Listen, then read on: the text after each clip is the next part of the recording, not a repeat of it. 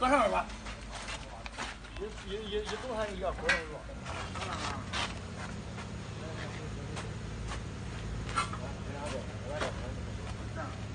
Okay, now the all these blocks is produced out.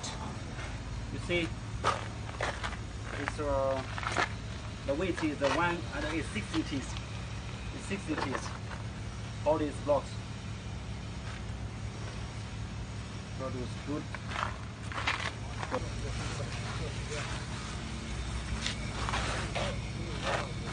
Rồi mà.